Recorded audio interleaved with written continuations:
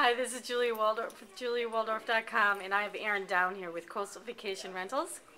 And Erin, what is what do you do? You do short-term rentals, and what is short-term rentals? Short-term rentals, the vacation rentals really are those defined by less than 30 days, and they create a bed tax. Okay, so it's people who come into town and they rent a house or a condo in a vacation area for one or two nights.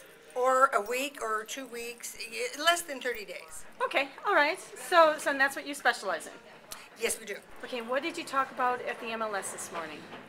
I spoke about what was going on both with the city of Pismo Beach and with the county, and, Mm-hmm. and specifically with the county, the areas in Avila Beach and Oceano, because we're here in Mm-hmm. Uh-huh. South County and those are the areas we manage. Uh-huh. And in the city of Pismo Beach, they passed um, a, a modification to the zoning ordinance and Uh-huh. a new municipal code last year.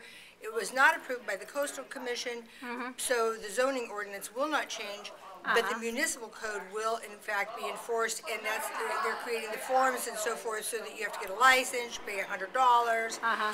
And, and you have to meet certain parameters, and, and, and you have to have a manager and somebody to contact, and, and it has to be posted. So. So that's all going into They're effect. getting stricter with the short-term rentals then. They just want to be in, in a control situation where, where nothing gets out of control and there's no one to contact right on the spot. And, and they want to make sure that out-of-town owners have somebody local Uh-huh. that can be contacted immediately. In case something happens with the short term, some big wild party or fire or something like that. Anything, you bet. Okay, yeah, okay.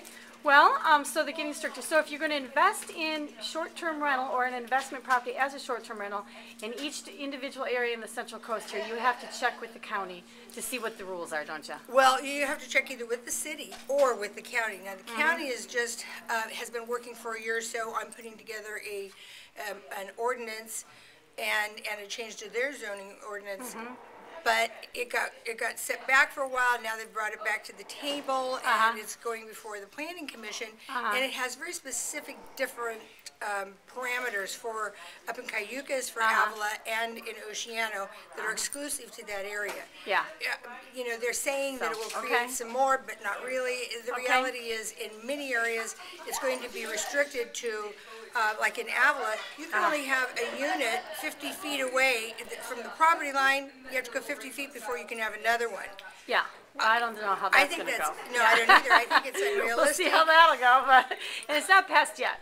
But No, it's just going before They were them. trying, so hopefully that'll get shot down because that doesn't even make any sense. That's not common sense, um, regulations. I have a hard time believing the coastal commission will approve, uh, that type of a situation in the visitor serving area. I, Yeah. I would, they didn't approve it in Pismo, and I don't think they'll approve it there, so Yeah. we'll see. Yeah, we'll see. It's a we'll see thing.